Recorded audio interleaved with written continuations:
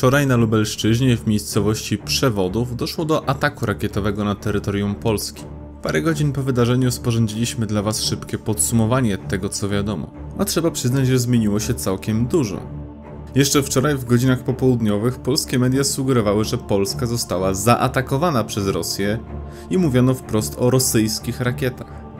Media prześcigały się w teoriach na temat tego, co takiego się wydarzyło, wikłając już nasz kraj w wojnę z Rosją. Polacy nie doczekali się jednak słów wyjaśnienia przez wiele godzin, przynajmniej ze strony swoich oficjalnych przywódców. Te role, w niewątpliwie kryzysowej sytuacji, przyjęli amerykańscy dyplomaci. Rząd III RP zachował się wczoraj bardzo dziwnie, nie zapewniając żadnych informacji i unikając wszelkich form komunikacji. Doszło co prawda do spotkania Biura Bezpieczeństwa Narodowego, a więc można było spodziewać się, że sprawa jest poważna. Ale kwestia podstawowa, czyli kto wystrzelił tę wyprodukowaną w Rosji rakietę, wciąż tak naprawdę czeka na wyjaśnienie. Mało tego, kluczowe informacje docierają do Polaków poprzez przecieki medialne z USA, a nie poprzez konferencje prasowe władz, na które zresztą trzeba było czekać aż do północy.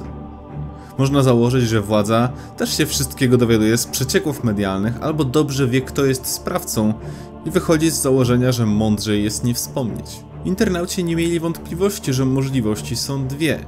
Jest to albo rosyjska zabłąkana rakieta, albo ukraińska zabłąkana antyrakieta. Sprawę dodatkowo skomplikował fakt, że prezydent Ukrainy Wołodymyr Zeleński w swoim okolicznościowym przemówieniu wprost sugerował, że ataku dokonali Rosjanie. Tymczasem zachodnie agencje prasowe takie jak Reuters i Associated Press, powołując się na źródła w Pentagonie, twierdzą, że dwójkę Polaków zabiły ukraińskie rakiety. Tak kuriozalna próba klajstrowania rzeczywistości przez rządzących w Polsce jest doprawdy trudna do zrozumienia.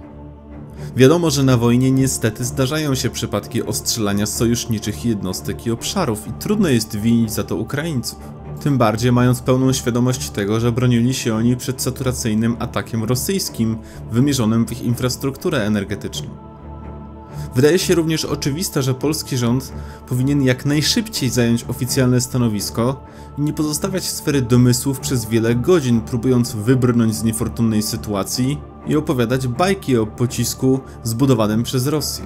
Z kolei strona ukraińska powinna wytłumaczyć, dlaczego sugerowała, że ten atak to wynik działania Rosjan i powinni przy okazji przeprosić rodziny ofiar za ten bez wątpienia niefortunny wypadek wojenny.